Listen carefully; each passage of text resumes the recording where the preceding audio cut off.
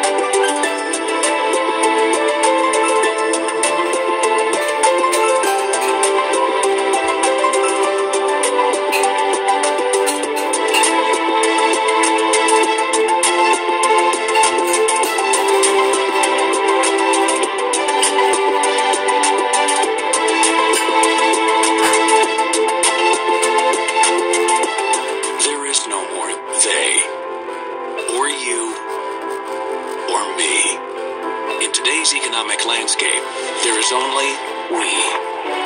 An interconnected world of business, trade, and investment. Daily coverage told simply, with insight and new perspectives.